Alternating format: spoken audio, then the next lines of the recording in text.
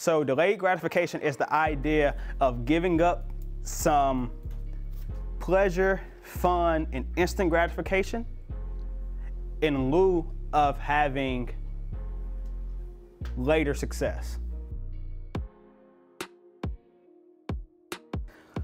Anybody know Charlemagne the God from the Breakfast Club?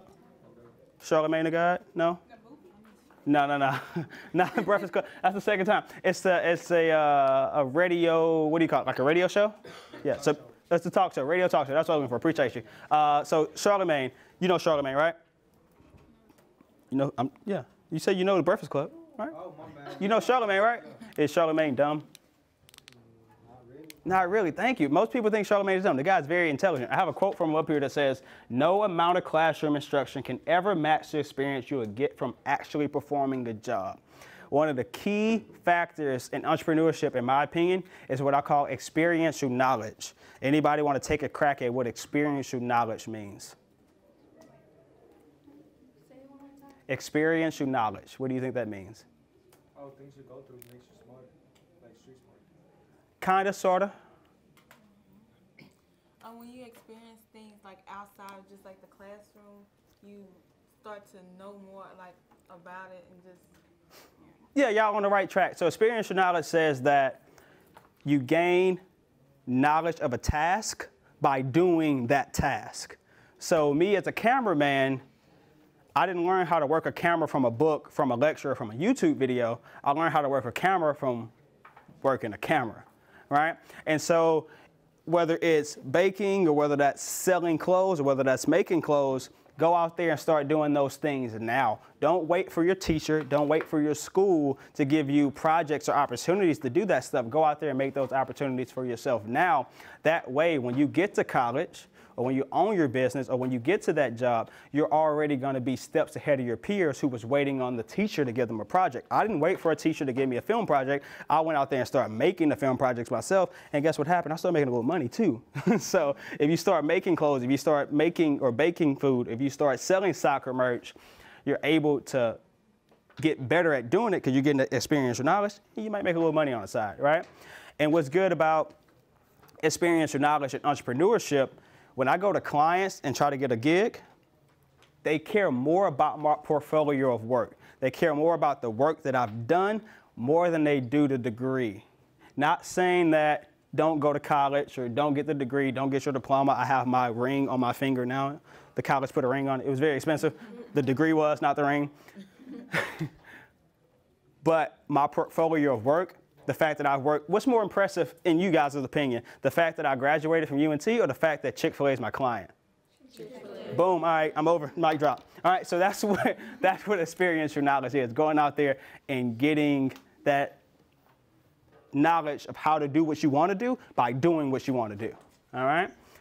And the last thing I have on here is reading. Most of us do not like reading. We like being on our phones. We like playing Fortnite. We like watching Netflix, right? We're all guilty of it. We're all hypocrites. He's shaking his head. You like reading? I, I don't like to play Fortnite. Oh, I mean, it's just uh, it's just a blanket statement, you know. No, I'm. I, I, don't know. I don't know what you like to play. Maybe it's Call of Duty. I don't know. But what I was saying is, a lot of us don't like to read, in, in kind of in general, right?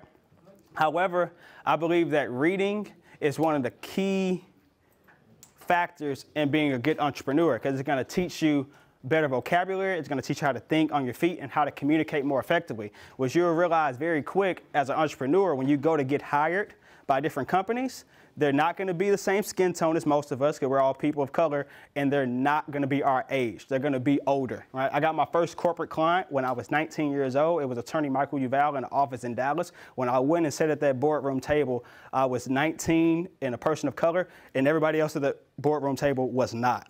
So you have to be able to communicate effectively to be able to get that job. And what helps with that is reading, so you can get more information. And what's good about reading, you can read about the business that you want to be in. You can read about business in general or finance or marketing. All those things are going to help you be a successful entrepreneur. That's, yeah, right? All right, cool. All right, cool. Uh, I'm going to wait for a question. Somebody got a question? Yes, ma'am. Like, what are some tips like to um like better like to read? Like I like to read, but it's hard for me to like. I'm in the middle of a book, but then I can't finish it. It takes me like a long time to just. That's, that's fine. I mean, it can take your whole three months to read a book. Why as you pick up every day and read a page, that's better than not reading a page. Because like half the room in here ain't gonna read that page. So at least you read a page, right? If you want to compare it to your peers. Uh, one thing would be find something that you really like to read about. And so for me, I like money. and so I started reading books on like stocks and all that stuff, and I was intrigued because it's a, it's different reading to better yourself because you're reading stuff that you want to read about as opposed to academia reading, which is like, hey, you're assigned to read this and you're kind of just going through it to learn it for a test. It's a big difference than if you're a sports person. If he's reading a book on Messi, he's probably going to want to read that book, right? Yeah, even though you might not like reading, he's probably going to want to read that book. What's something that you like? I like ballet. You like what? Ballet. Ballet. So if you read a book about a African American ballet dancer who was the first on Broadway, you probably might be a little intrigued after you read a couple pages. So just try to find something nonfiction that you like and start there. And I think your love for reading will grow from there. Now I'm like, I like reading because I don't have to deal with people who are like, here's some stuff. What'd you say? What? No, no, what's it? She said, she's on, Misty Copeland. Yeah. So yeah, just just uh, start off reading stuff that you like. One more question before we go on.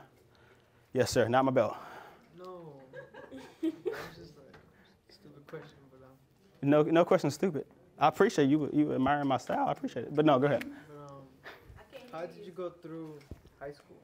Like, was it tough? And do you got tips for us? Cause uh, did you like, were you like a really focused student, or did you slack off sometimes? Yes. Because I'm like in the middle. Okay. I like going out every weekend, Yeah. but then sometimes I gotta focus.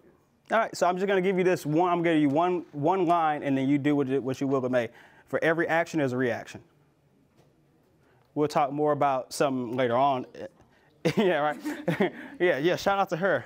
Um, we'll talk more about something in the next slide. But if you are more focused, there's going to be a reaction for that. If you want to go out every weekend, there's going to be a reaction for that too. Not saying that they're good or bad. Not even calling them consequences. Just know for everything that you do, something will happen. And you pick which you want to happen, and then you change the something that you do.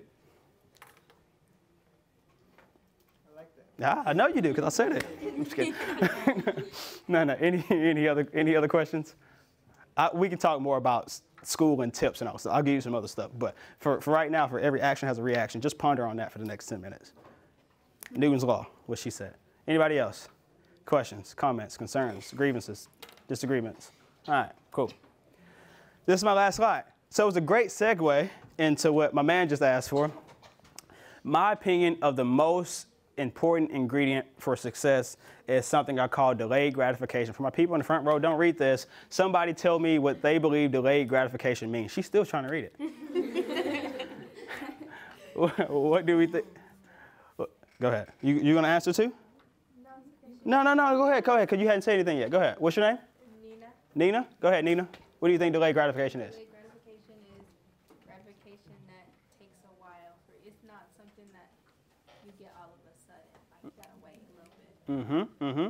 Go ahead. You can add to that. Miss Rose, but like you, when you do, when you in the process of doing something, you don't like it or you don't want to do it, Mhm. then later on in the future you say, "I'm glad I did it because it actually helped you." Like, Yep.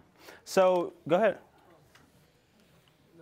Universal and accurate You have good eyes, bro. You have good eyes. Uh, too bad that's not the definition. I asked for the definition though, but it's cool. so this was just, just an explanation behind it. Um, they have it was it was it was it was awesome that one of the students last period actually know uh, they had a, a study that they did and she actually knew what it was from. They had a delayed gratification study. They did three year olds. They put them in a room. They set them at a table for like 10 minutes and they put a marshmallow on the table. And if they grabbed the marshmallow, they didn't get any more marshmallows. But if they were able to wait the 10 minutes and not grab the marshmallow, they gave them a full bag of marshmallows. Right? Right?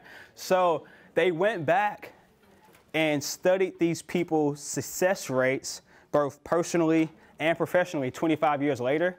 And the ones that was able to wait for the full bag of marshmallows was exponentially more successful than the ones who took the one marshmallow right? So delayed gratification is the idea of giving up some pleasure, fun, and instant gratification in lieu of having later success. kind of what she alluded to, right? So as a 19 year old, 20 year old business owner in college, I really just had school and work, and that's all I was able to do. I didn't have time to really socialize or play 2K anymore, even though I really love 2K. I had to sacrifice some of that instant gratification so I can be 25 flying to Africa with my client, filming stuff, and they paying me to do it, right? So I would have to had to delay some of that gratification. So I have a, um, a chart up here about being a medical doctor. So this is directly for you. Uh, it says that you want to be a medical doctor, right? So if you want to be a medical doctor, you have to get into medical school. If you wanted to get into medical school, you have to get good grades in your undergraduate biology class. To get good grades in your undergraduate biology class, you may not be able to go out or play Fortnite that night. You probably got to stay home and study for that biology test. A lot of us may not correlate me staying in and not going out, not talking to anybody in particular. So some of us may not correlate not going out that weekend with me being 30 and the doctor, but it's directly correlated because you're delaying some of your gratification from going out that weekend with what you're going to have when you're 25 and 30. And that's someone who sacrificed as a 19 and 20 year old, and I don't have to worry about paying my rent now, and I can go and buy $500 sneakers and do whatever I kind of want to at 25. Trust me, the delayed gratification is worth more than what I could have did at 18 or 19. So, not talking to anybody in particular though. just, just, just. Just wanted to say that. But that's it. That's all I got. So I appreciate y'all. Y'all have questions. Oh, thank you. Thank you. Thank you.